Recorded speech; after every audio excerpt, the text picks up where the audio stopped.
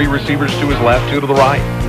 The senior steps in the pocket, fires across the middle. It is complete.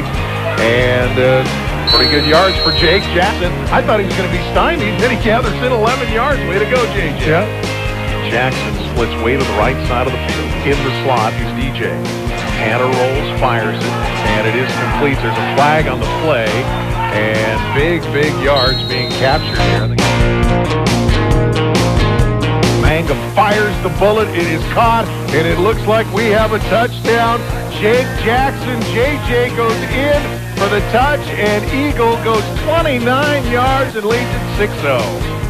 Mangum gonna throw it. Jake Jackson's gonna tiptoe into the end zone.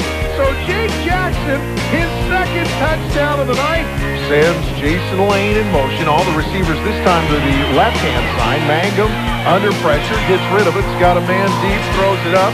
Jake Jackson goes and How did he catch that? Jackson goes out.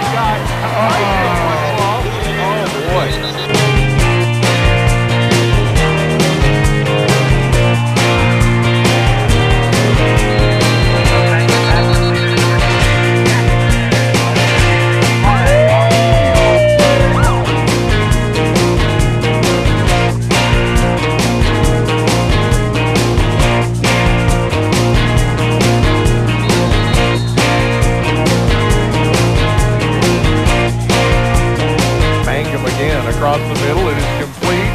And Jake Jackson, Jake spins it out across to the 50 down to the 45. And finally shoved out at the 37-yard line. So Mangum out of the gun. Back to pass. Just wants to throw it deep. He's got a man open, and it's Jake Jackson. So Jackson pushes it all the way down to the 41-yard line. And here comes Tanner being first. So he's got a wide open man on the sideline, Jake Jackson. And he's going to score. into the end zone, as pointed out. What the doctor ordered, a quick score. They go in for a touchdown.